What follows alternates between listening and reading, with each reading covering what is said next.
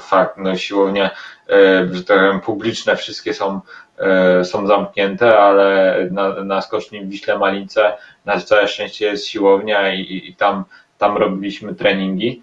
Mm, tak, no codziennie praktycznie się jeździło do tego miejsca pracy swojego, e, oczywiście z zachowaniem wszelkich środków ostrożności, e, ale codziennie się powiedzmy patrzyło na tą skocznię i już było, już jest strasznie tęskno. Olek, a powiedz jak to jest, bo Kinga Rajda tydzień temu nam opowiadała, że dziewczyny już skaczą, po kilkanaście skoków mają, a faceci jeszcze nie skaczą. Czy to przypadkiem nie jest dyskryminacja mężczyzn, Olku? O co tu chodzi? No, bo może lekka dyskryminacja, faktycznie. No, no nie wiem, no nie, nie, nie zastanawiałem się nad tym. Eee, może mieli tak, tak po prostu to zaplanowane, żeby, żeby jak najszybciej e, wejść na tą skocznię, może potrzebują e, zacząć już szybciej e, ten, ten sezon letni, potrzebują w lecie tych więcej skoków, żeby, żeby ustabilizować swoją dyspozycję do zimy. Mm, myślę, że, że jak dla mnie w moim przypadku fajnie, że ten głód skoków się pojawił i, i e, utrzymuje się od dłuższego czasu i jeszcze dodatkowo narasta. Mm, więc, e, więc myślę, że to jest fajne, bo, bo chce się trenować, e, chce się skakać. Mm, każde, każde ćwiczenie wykonujemy mm, na 100%, żeby, żeby przyniosło jak najwięcej efektów. Na skoczni też jestem E, jest ten głód skakania, jest ta ciekawość, e, co się wydarzy, jak, jak te skoki będą wyglądać, pierwsze. E, I, I, myślę, że to jest bardzo fajne też pod względem psychicznym, żeby wejść tak z takim nastawieniem bardzo takim bardzo mocno no, zmotywowanym. O. Mhm. Żeby wejść w sezon razem z drzwiami, mówiąc krótko. Y, Olko, a powiedz jeszcze, y, co ty robiłeś w domu, kiedy miałeś trochę więcej czasu? Nie wiem, robiłeś jakieś remonty, pomalowałeś, zasadziłeś jakieś drzewo. Jak wykorzystałeś ten czas, kiedy, kiedy w domu można było być dłużej niż zwykle? No, to był dla mnie naprawdę bardzo, bardzo fajny. Jest dalej, e, bo, bo jestem cały czas w domu. E, fajnie, że, że był taki taki czas, który mogłem spędzić w domu z córką, e, z żoną. Śmialiśmy się, że w sumie odkąd e, jesteśmy razem, e, to tak długo, sumie, tak, tak długo nie byliśmy ze sobą. I ciekawe, czy wytrzymamy. Ale bardzo fajnie rozwodu na pewno nie będzie. Spokojnie. Nie wiem, super czas naprawdę. Udało się dużo rzeczy ogarnąć w domu, czy, czy posprzątać z szafy stare rzeczy, wywieźć kombinezony, jakiś sprzęt stary do magazynów e, i, e, i zdać ten sprzęt. Udało się nam z żoną odnowić, e, tak powiem, pokój córki, przemalować jakieś tam gadżety dla dziewczynki i, myślę, że, że bardzo owocny czas E, nie tylko myślę dla mnie, tylko że dla nas, dla nas wszystkich, szczególnie tych, dla osób, które wyjeżdżają dużo za granicę. Taki czas z rodziną dużo daje. To nie, to powiedzmy nie jest taki, taki czas wakacyjny, że, a, że super, że spędza się w domu, spędza się czas z rodziną na wakacjach, tylko jest się u siebie w domu, e, na swoim miejscu i E, i można się super zadomowić. Dla mnie naprawdę bardzo fajny czas. Pożyteczny, z całą pewnością. No dobrze, przechodzimy do pytań od naszych ekspertów. Marek Rodziński, proszę bardzo, panie Marku. E, mówiłeś przed chwilą, Olku, o tym, że czujesz się głodny, bardzo głodny, a ten głód narasta jeszcze. E, w związku z tym chciałem Cię zapytać, czy wynikało to z przejedzenia w ostatnim sezonie, czy w ostatnich paru sezonach, E, byłeś tak bardzo przejedzony tymi skokami, że teraz, e, gdy ich nie ma, odczuwasz głód. E, oczywiście żartuję sobie trochę, ale chciałbym, żebyś wrócił do tego, co było minionej zimy, jakbyś ocenił to, co, co się z tobą w ostatnich miesiącach zimowych działo. Myślę, że ten głód jest jeszcze Większy z tego powodu, że ten sezon zakończył się nagle.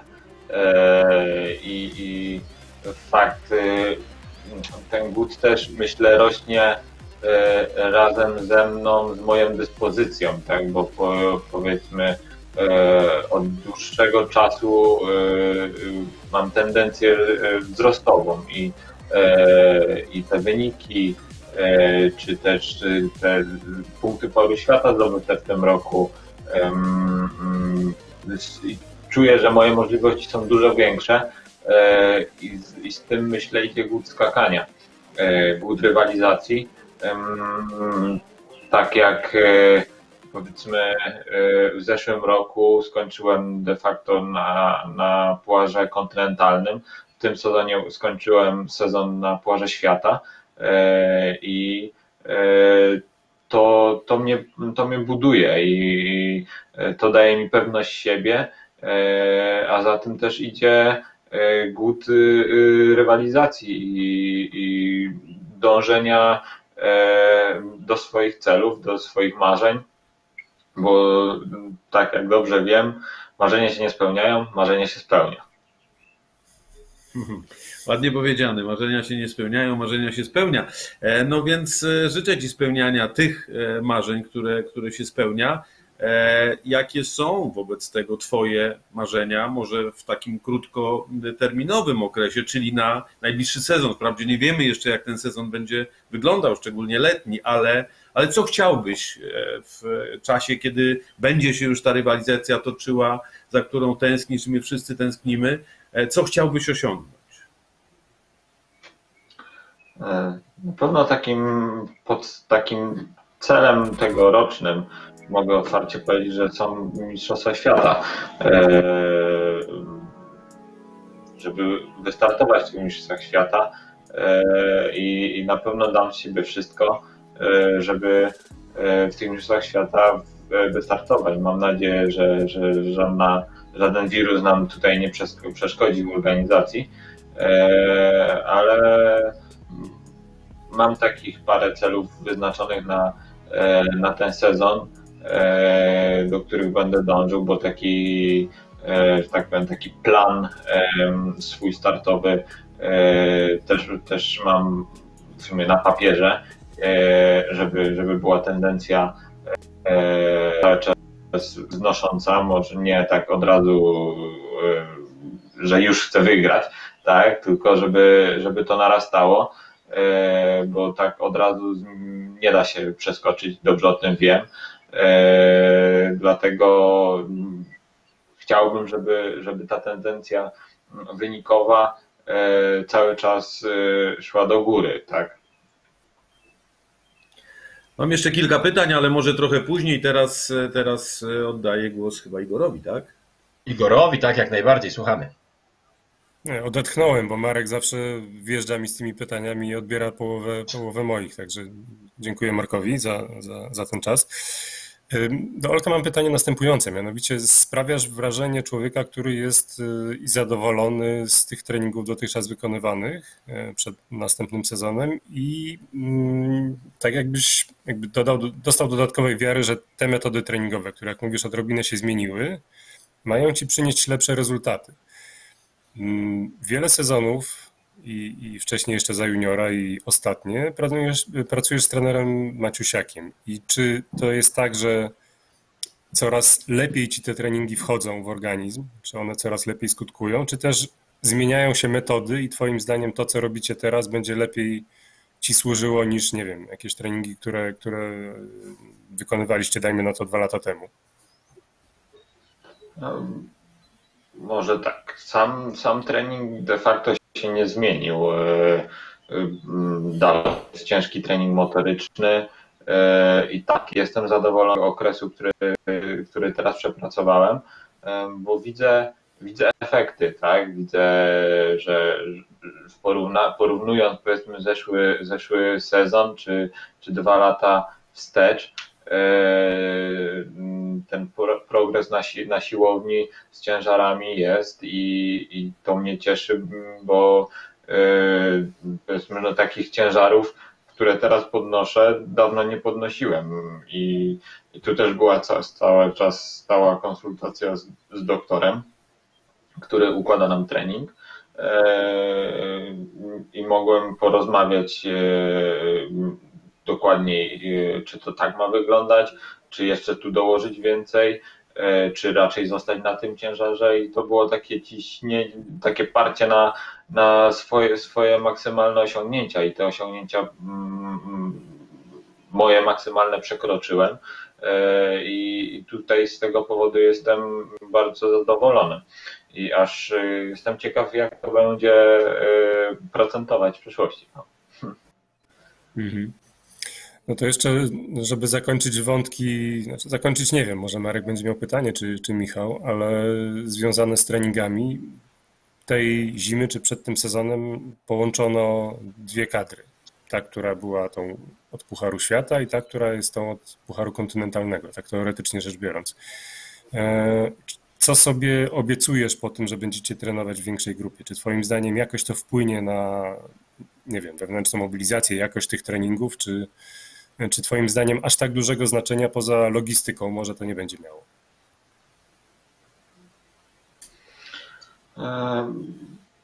Ciężko mi odpowiedzieć na to pytanie, bo ja staram się skupiać na, na sobie, na swojej pracy i, i na to, ile, w, ile wkładam serca w to, w to całe przygotowanie do sezonu, bo potem aktualna dyspozycja kwalifikujecie do, do danych zawodów. Tutaj w zeszłym mhm. roku bardzo fajnie to zagrało, e, że skakałem dobrze, to dostawałem szansę na Pucharze Świata. E, I, I nie jedną, tylko kilka. Potem niestety przy końcówce trochę zabuksowałem, ale e, razem z trenerem znaleźliśmy punkt i ostatnie kwalifikacje i ostatni skok w sezonie skończy, skoczyłem e, bardzo fajnie, e, więc e, tu mogę być z tego naprawdę bardzo zadowolony, powiedzmy z ostatniego skoku w sezonie. A jak to będzie funkcjonować w tym roku? Mam nadzieję, że, że dobrze i, i na pewno na pewno trenerzy dadzą z siebie wszystko, tego jestem pewien. E, I myślę, każdy chce dla zawodnika jak najlepiej, więc, e, e, więc tutaj myślę, że, że pod względem logistycznym to będzie dużo, dużo, dużo, lepiej, dużo lepiej wyglądało, ale też jest dużego, można zapomnieć, że to jest sport indywidualny.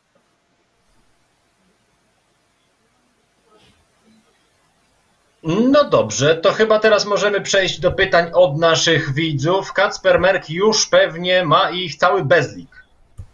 Tak jest, tych pytań jest dużo, ale ja bym chciał jeszcze tylko jeden wątek e, pociągnąć e, od siebie, bo powiedziałeś o tym najlepszym skoku e, kończącym sezon w Trondheim i tam, kiedy zszedłeś już do tej strefy wywiadów, powiedziałeś, że dostałeś mocno po czterech literach i, i to ci jakoś się tam e, pozwoliło odwinąć. Pytanie, czy możemy ten wątek teraz rozwinąć? Od kogo dostałeś tak po tych czterech literach i, e, i, jak to się przełożyło na ten skok w Trondheim? Tak, no, oczywiście. E, już tam te kwalifikacje, początek e, tego Row nie poszło za fajnie, bo mm, tam nie przeszedłem kwalifikacji e, i, i w tych, te skoki czułem, że, że no nie są moje w ogóle e, i to się tak troszkę ciągnęło od, od, e, od lat, potem, potem zaczął się robić i, i czułem, że no te skoki nie są moje, no i, i co, co chciałbym to zakończyć swoi, swoimi skokami, tak? I tych myśli było bardzo dużo.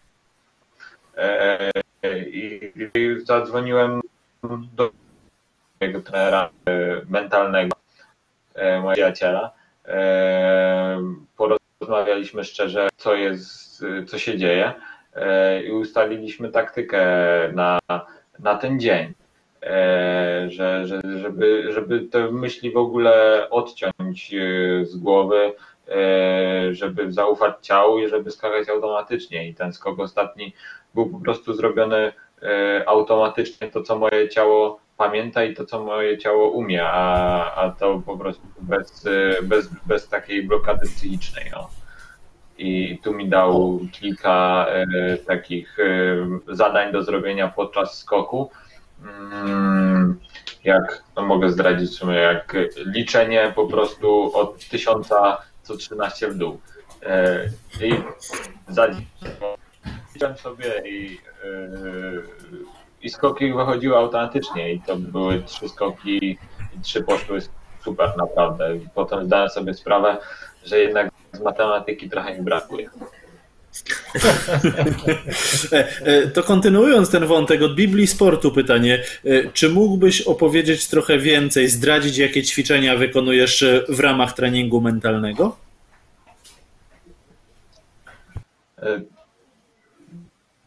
Bardzo często jest to wizualizacja. Wizualizuję sobie na, pewno dużo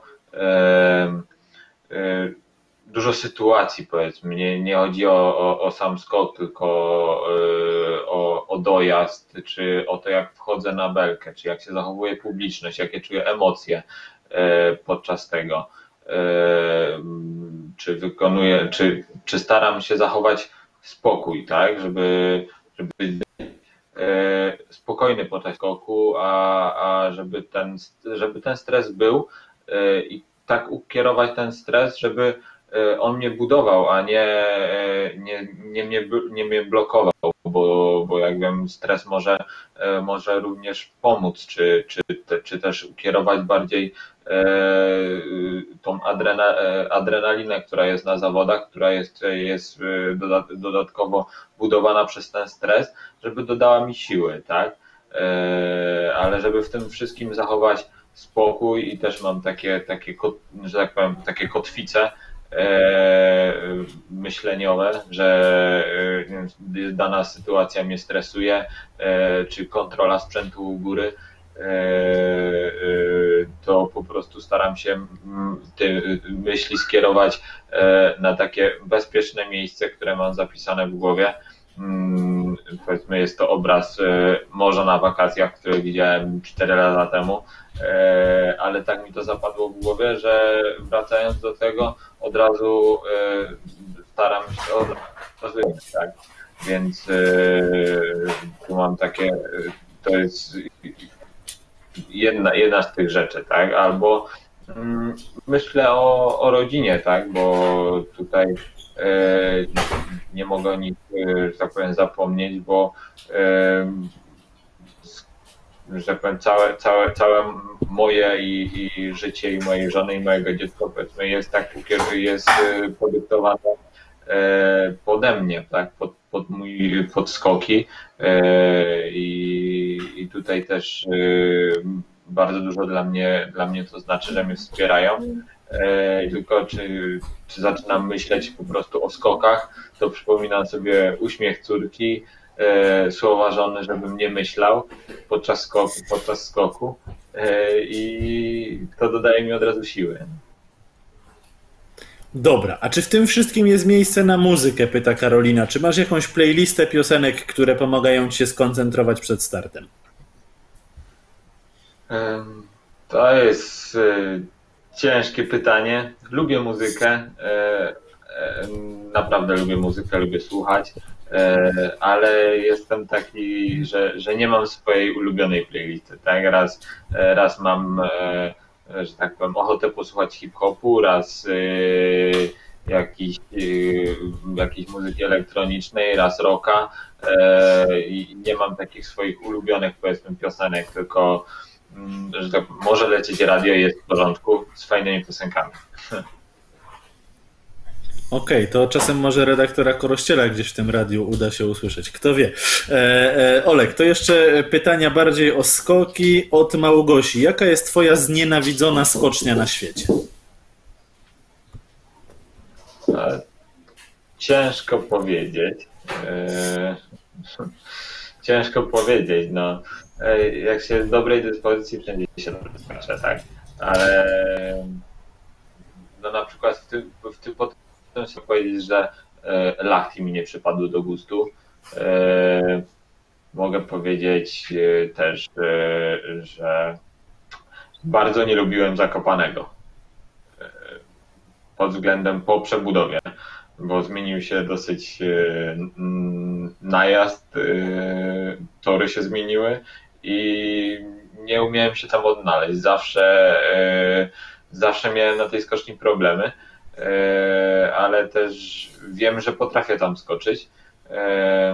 Jest trudną skocznią, naprawdę wymagającą i dużo też tam zależy od warunków, bo małe zmiany E, tam termiki powietrza i robi różnicę 10-15 metrów czasem. E, ale tak, to, był, to była moja kłopotliwa skocznia w tym, w tym, w tym roku i w poprzednim.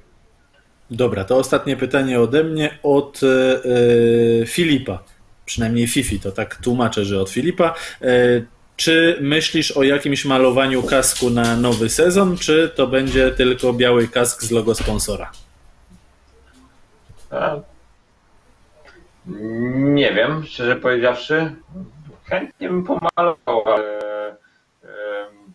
no nie, nie wiem, nie zgłaszałem się do, do, do nikogo, że mi pomalował kas. Może miałbym parę pomysłów, ale nie wiem, nie rozmawiałem z nikim. To jest, to zależy ode mnie, czy, czy chcę pomalować kask, czy nie. Kiedyś miałem pomalowany kask, a, a, a teraz nie mam na to parcia. No dobrze, Olku, do pytań od widzów będziemy jeszcze wracać, a tymczasem ja chciałem wrócić do muzyki, o której mówiłeś przed chwilą, e, bo ja słyszałem, że ty miałeś być skrzypkiem, że takie były marzenia rodziców i ty te marzenia brutalnie zbagatelizowałeś. E, powiedz, jak teraz wygląda twoja relacja ze skrzypcami? Czy grywasz jeszcze, czy żałujesz, że porzuciłeś karierę skrzypka? Jak to wygląda? Może e, nie, no, porzuciłem karierę skrzypka i, i, i, niestety już e, nie grywam, ale bardziej e, tego, że, tego, że porzuciłem, to, to, to, to, nie żałuję, ale bardziej żałuję tego, że porzuciłem jakąkolwiek grę, bo teraz na przykład mi, tego brakuje, żeby mieć taki talent, drugie, drugą odskocznie móc grać na E, czy to na gitarze, czy na pianinie, czy na, e, czy na tych skrzypcach, czy na flecie, e, bo, na, bo lubię muzykę i fajnie tak umiem na czymś zagrać, nie? No bardzo fajnie. Twoi koledzy z kadry, przecież Piotrek Żyła i Maciek Kot śmigają na gitarze. To nie, nie mógłbyś jakoś dołączyć? Jak już teraz nie ma kadry A i B, wszyscy razem, to może będzie jakiś przyczynek do tego, żeby stworzyć trio. Może tak. Zobaczymy. może, może, Dobra. może polecę gitarę i zacznę grać. No. Zobaczymy. Trzymamy kciuki jak najbardziej. Słuchaj, a wróćmy trochę do e, Twojej przeszłości. Kiedyś Twoją menedżerką była Izabela Małysz i chciałem zapytać, co Ty miałeś z tej relacji z Panią Izabelą Małysz i czy do tej pory jakoś Pani Izabela albo Państwo Małyszowie jeszcze Ci pomagają? E, nie, aktualnie e, aktualnie pomaga mi siostra i, e, i szwagier, e, których serdecznie pozdrawiam. One oglądają. Mhm. E, I tutaj powiedzmy sam działam na tej, na tej płaszczyźnie. Sam, no, czy działam, to ciężko powiedziane, bo raczej stoję, stoję w miejscu. Ale czy mnie, mam kontrakt z grupą Azoty mm, za który serdecznie dziękuję, bo, bo wierzą we mnie i, i mnie dalej wspierają. E, bez, bez takiego kontraktu sponsorskiego byłoby ciężko. E, naprawdę. I, a wracając do pani Izabeli Małysz, no tak, tak była moim menadżerem. E, udało się nam znaleźć sponsora Państwo Małyszowie mnie też wspierali w, w rozwoju, za co też serdecznie dziękuję. Ale potem jakoś nasze drogi, że tak powiem, się, się rozeszły. Tutaj miałem też właśnie propozycję pierwszą z grupy Azoty i, i potem się jakoś nasze drogi, drogi rozeszły, ale w wieku, wieku juniorskim bardzo, bardzo mi pomagali. E, a teraz, mm, tak powiem, pomaga mi rodzina.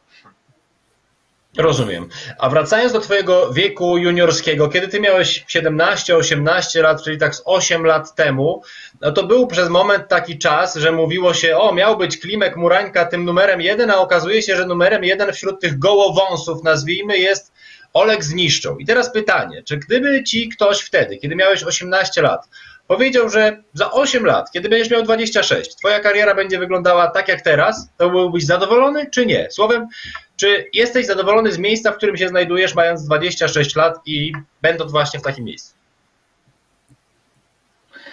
E, pod względem sportowym e, mogło się to troszkę inaczej potoczyć, tak?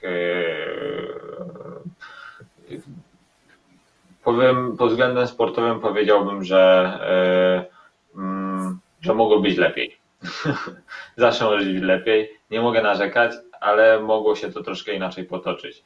Yy, takie jakie mam swoje przemyślenia, to, to za, może zabrakło e, właśnie takiego systemu, jak, jak się teraz buduje. I takiego profesjonalizmu, tak. E, było parę, było parę, że tak powiem, autorytetów, e, co, co tak, takie ja mam spostrzeżenie, jak to, jak to wyglądało u mnie, e, że, że było parę autorytetów, ale nie było takiego systemu profesjonalizmu, o, coś takiego można to nazwać. Było takie zadbaj sobie samo siebie. Więc myślę, że tak, a pod względem życiowym myślę, że mogę być bardzo, bardzo zadowolony, bo mam wspaniałą żonę, wspaniałe dziecko, e, mamy dom, e, swoje życie e, i to wszystko też dzięki skokom i, i dzięki i przez sport. No. Jasne. Jasne, że tak. Olku, trzymamy kciuki za rozwój tej kariery, a teraz przechodzimy do kolejnych pytań od ekspertów. Marek, proszę bardzo. E, mówiłeś o tym, że w sferze sportowej mogłoby być trochę lepiej. No z pewnością tak, no bo, bo jak e, wspominał przed chwilą Michał, e, bardzo zdolny junior, jako senior e, pewnie mogłeś osiągnąć więcej. E, mówisz o tym, że trochę zabrakło profesjonalizmu. Rozmawialiśmy wielokrotnie w tych programach o tym, że bardzo trudne jest przejść e, z wieku juniora do, do wieku seniora. Czy, czy u ciebie też to było trudne? Ze względu zarówno na, na to, że no, w pewnym momencie trzeba podejmować jakieś decyzje życiowe, z czegoś żyć, mówiąc krótko, jeżeli się nie ma wyników seniorskich, to nie jest to takie proste, bo te pieniądze nie pojawiają się znikąd. E, czy, czy był to dla Ciebie jakiś, e, jakieś dodatkowe obciążenie właśnie przejścia z wieku utalentowanego juniora do, do seniora, gdzie no tak łatwo jednak nie jest? O, czy, ciężkie pytanie, wymagające bardzo. no tak może nie musiałem podejmować takich decyzji, e, że mm, nie miałem za co żyć, bo mam wspaniałych rodziców, którzy e, mnie wspierali i wspierają mnie, mnie nadal, e, bo, bo też dzięki grupie Azoty mogę swobodnie trenować ale też przez, przez rodziców, którzy, którzy mi pomagają na każdej płaszczyźnie. E, i, i tu, tu ta pomoc y, jest dalej. Nie wyobrażam sobie, e, że tak powiem, mm, życia bez tej pomocy, tak?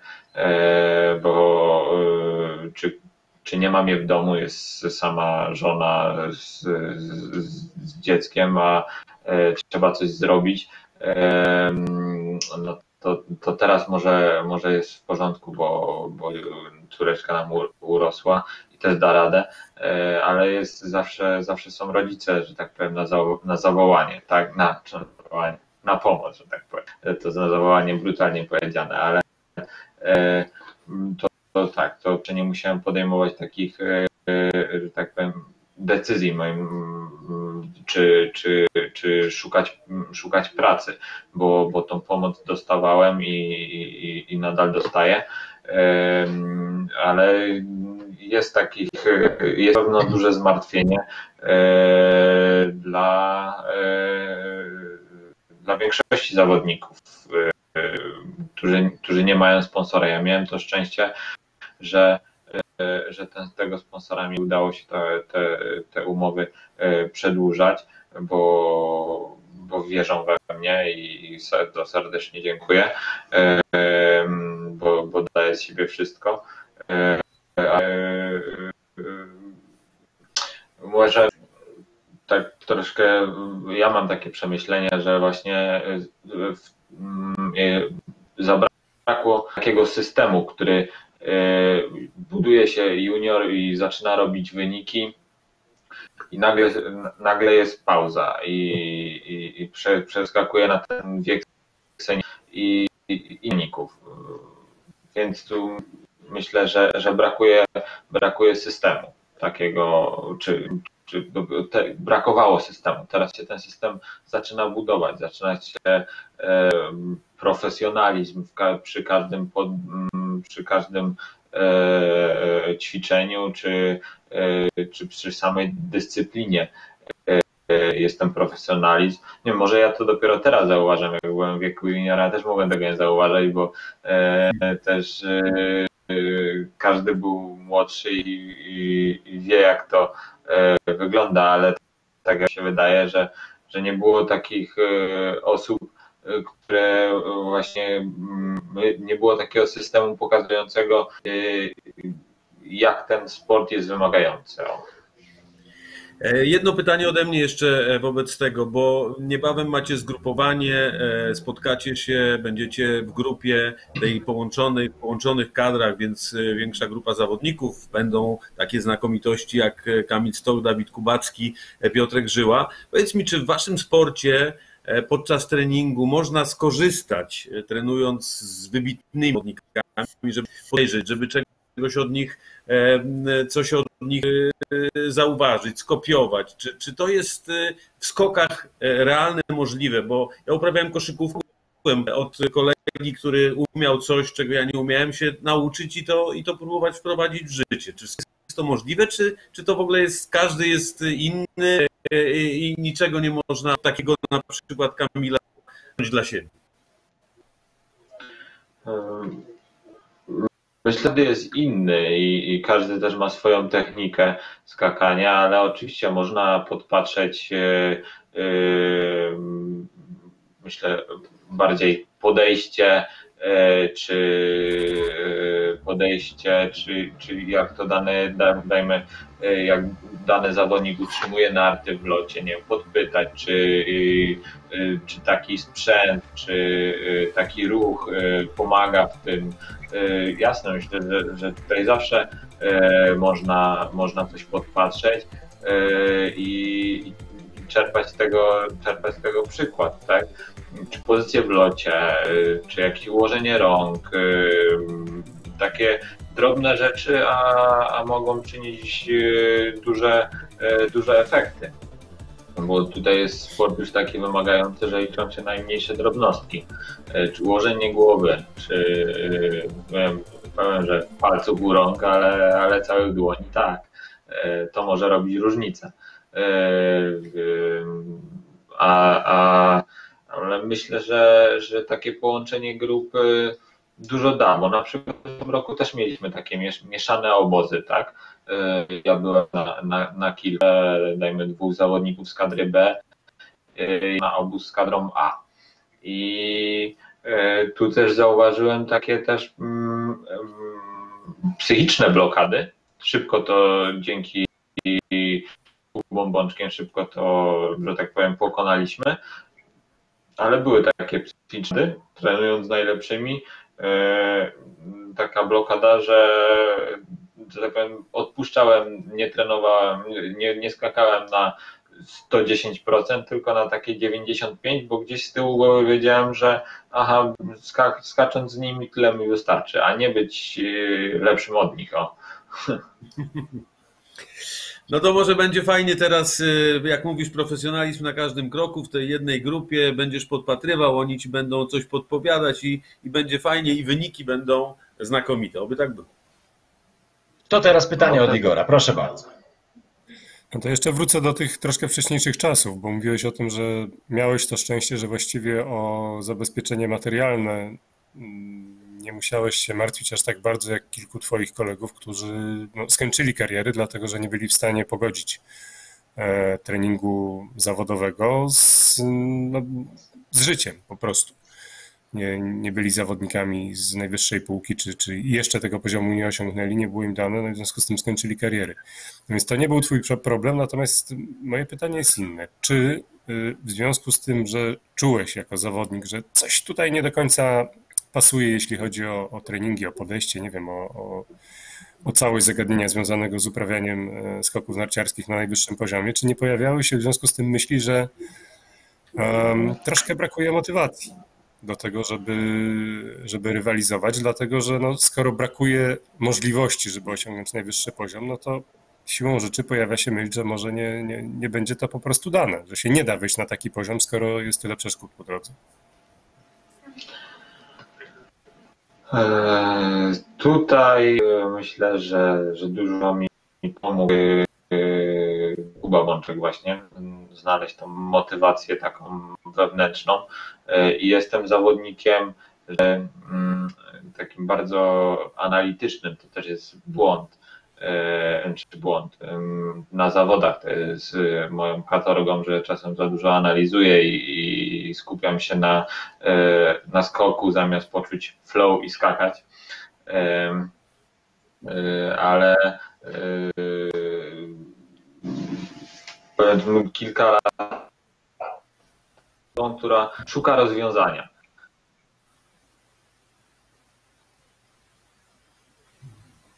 Jest rozwiązania i nie wiem, czy, czy, czy sam, tylko szukam i walczę, bo, e, bo to jest całe moje życie, skoki i, i, i o to, żeby, żeby skakać jak najlepiej. Powiem, że porównując jeden, jeden sezon, że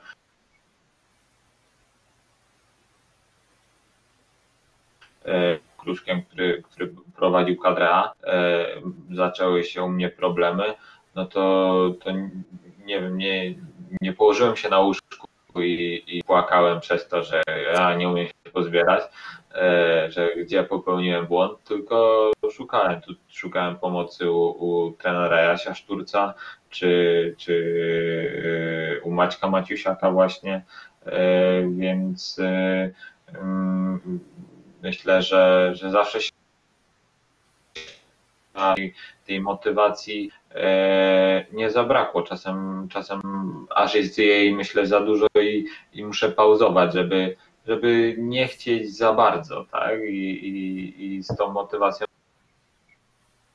trochę każdy, myślę, że każdy chce wygrywać sprawę, że tego się nie da zrobić z dnia na dzień.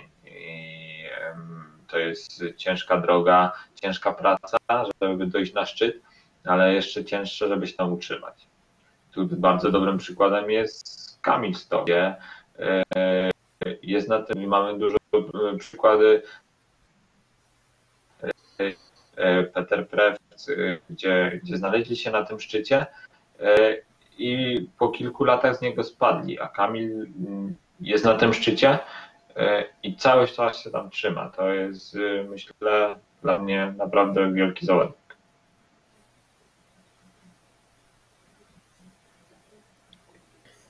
No dobrze, to co? To teraz idziemy do pytań od widzów. Kacper, mamy kolejne? Mamy całą serię jak najbardziej. Zacznę od takich luźniejszych. Amalama pyta, czy śpiewasz córce kołysanki? Jeśli tak, to jakie? E, kołysanki pewnie. No. jadą, jadą misie, czy Zuzia lalka nieduża. No, ale swoich ostatnio na zajączka, takiego zajączka od babci, e, który śpiewa i czyta bajki, więc e, robimy sobie czasem, e, tak powiem, tańce z, bajki, z piosenkami, ale też bardzo lubię, bardzo lubię czytać i, i, i super, że, że moje dziecko lubi słuchać, jak czytam. Czasem do znudzenia tą samą bajkę, ale mm, zawsze przed spaniem jest książeczka, e, czytamy bajeczki. Dobra, to pytanie od Agaty. E, który but zaczynasz wiązać jako pierwszy? Bo Kuba Wolny ostatnio mówił nam, że on zaczyna od lewego. Czy też masz takie przesądy? E, nie mam takich przesądów, ale tu śmieszna sytuacja, no bo dopiero rok temu ktoś mnie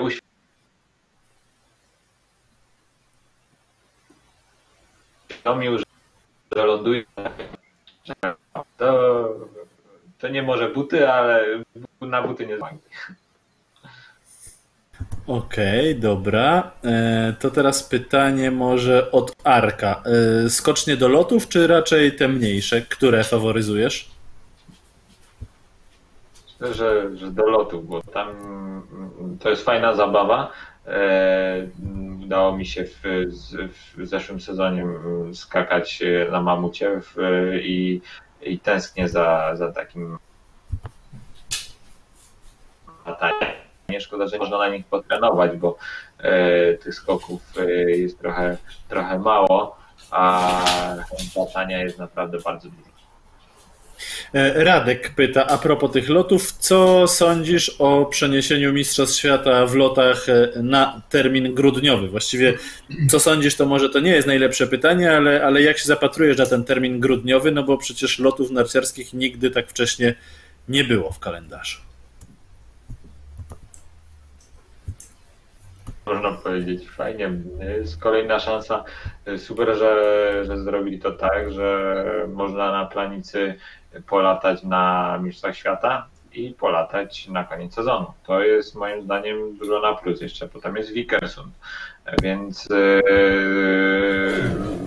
no tak, no, myślę, że, że te Mistrzostwa Świata będą przeprowadzone yy, tak dosyć ostrożnie pod względem długości skoków że tam jury będzie pilnować e, długości e, skoków, żeby nie były zbyt dalekie, bo, e, bo cały sezon przed nami, tak. Ale myślę, że czemu nie, fajnie. To jeszcze jedno pytanie od Waniliowej a propos tego treningu, przygotowania i tak dalej. Ona pyta, czy e, a propos twojej diety, czy ty musisz liczyć kalorie, czy po prostu wiesz, na ile możesz sobie pozwolić i raczej e, nie musisz z niepokojem spoglądać na wagę? E, po, akurat pod względem żywieniowym to jest, jest to moje hobby, a z tego się fajnie sprawia, bo że, że mój sport to tego wymaga. Jest to moje hobby, interesuję się tym i historię od jakichś e, dobrych kilku lat. E, jest to, tak, tak powiem, no, zapisuję sobie. Nie jest takie coś, że, e, że jest to jakieś mm, dla mnie uciążliwe chodzić, nie wiem, do restauracji i nie zjem nic, czy jakieś urodziny, czy coś, czy nie zjem nic, bo to też na też oczywiście miejsce. E, ale, ale tak, jest, mam, że tak powiem, ścisłą dietę, e, tam ścisłą, ustawione jakieś widełki kaloryczne e, i wartości odżywcze, których się trzymam i też to, że tak powiem, jest, jest ruchome w zależności od, od momentu sezonu, tak, że, że powiedzmy teraz jest okres na budowanie E, że tak powiem, ciężki trening siłowy i, i, i pora przybrać kilka kilo, e, to potem będzie okres na utrzymanie wagi, przygotowanie i zejście do, do zimy, więc to jest też takie, e, też, też, są, też się to zmienia. Tak? To Michał Jasne, ma że tak, wiesz. Tak, tak, tak, zdecydowanie. Ale wiesz co, ja chciałem Cię, Olek, zapytać jeszcze, bo bycie młodym ojcem wiąże się z tym, że trzeba zjadać po dziecku. Nie bójmy się mocnych słów. Trzeba zjadać resztki parówki, resztki chrupek kukurydzianych, danonka niedojedzonego. Czy Ty chcesz nam powiedzieć, że Ty tego nie zjadasz, ponieważ jesteś na diecie? Parę rzeczy nie zjadam, ale wiecie jak to się mówi tam, od kogoś się nie liczy. A, czyli możesz sobie, możesz sobie na to pozwolić. E, Olek, wiesz co, mamy już za mało czasu na ko- kolejną serię pytań, ale mam dla Ciebie prezent. Możesz zadać teraz pytanie Kacprowi Merkowi i to możesz jechać bez trzymanki, bo skoro on Was przebytuje przez cały sezon, to Wy miejcie chociaż jeden taki moment w roku, żeby jemu zadać pytanie. Może to być pytanie, którego obnaży zupełnie. Nawet zachęcamy do tego. Słuchamy. Dziękuję. Szkoda, że dopiero teraz, bo bym pomyślał. Kurczę. Mamy jeszcze trochę czasu, śmiało. Nie, no tak na krótko. E, takie skocznia i mie, mie, miasto, z którym darzysz naj, największy, masz największy sentyment. O. Kurczę, jedna to byłoby bardzo trudno. E, jeśli chodzi o kibiców, to ja jestem e, fanem Bischofshofen, a jeśli chodzi o skocznie, to jestem fanem Sapporo. E, po, po, po, po Japonii zdecydowanie e, ten widok z góry, skoczni na całe miasto, e, będące w dole oświetlone, naprawdę to robi wrażenie. A kibiców wiem, że zrobiłeś, się skrzywiłeś na Bischofshofen, ale okej, tam na, na samej skoczni może atmosfera nie jest rewelacyjna, taka jak w Wiśle, Zakopanem, czy, czy, czy, czy nawet w Niemczech, w Oberstdorfie na przykład, też zawsze jest fajnie, ale ten fakt, kiedy idziesz przez miasto od momentu wyjścia gdzieś tam z hotelu, jest mnóstwo knajpek, punktów, przepraszam, że to powiem, z piwem, ale ja nie próbuję, tylko zwracam na to uwagę, rzecz jasna. E, e, jest fajna bardzo atmosfera przez te, przez te 2-3 kilometry, kiedy idzie się przez miasteczko na samą skocznię, to naprawdę robi wrażenie i stąd to jest taki bardzo nieoczywisty wybór to Bischofshofen, ale, ale mi się tam bardzo kibicowsko podoba. No, super, naprawdę. To muszę ci, podzielić się z tobą tym, że, że też lubię bardzo Japonię e, pod tym względem, że e, są różne kultury i, i też jestem człowiekiem, który lubi takie wyjazdy, czy tam Stany Zjednoczone, e, latało się na Puchar Kontynentalny do Iron Mountain i, i czy, czy Japonia, Hakuba też jest bardzo fajna, tylko że to jest też dwa, dwa różne światy, Sapporo, Hakuba.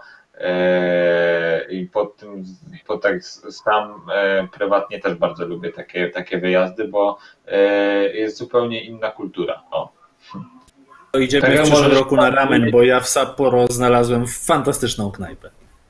O, super. Na ramen jeszcze nie byłem, ale byliśmy w tym roku na sushi, na które zabrał nas Noriaki Kasai i naprawdę super. Olek, miałeś taką szansę go przygwoździć, a ty go pytasz o ulubioną skocznię. No daj spokój, nie? Naprawdę. Nie dałeś pomyśleć. Olek, Olek Zniszczał był gościem Eurosportu dzisiaj. Dziękujemy bardzo, pozdrawiamy serdecznie. Dzięki. Pozdrawiam. Marek. Rydziński, Igor Dziękuję. Błachut, Kacper Merk, Michał Korościel. Kłaniamy Do się, do zobaczenia. zobaczenia, polecamy się w Eurosporcie. Do zobaczenia.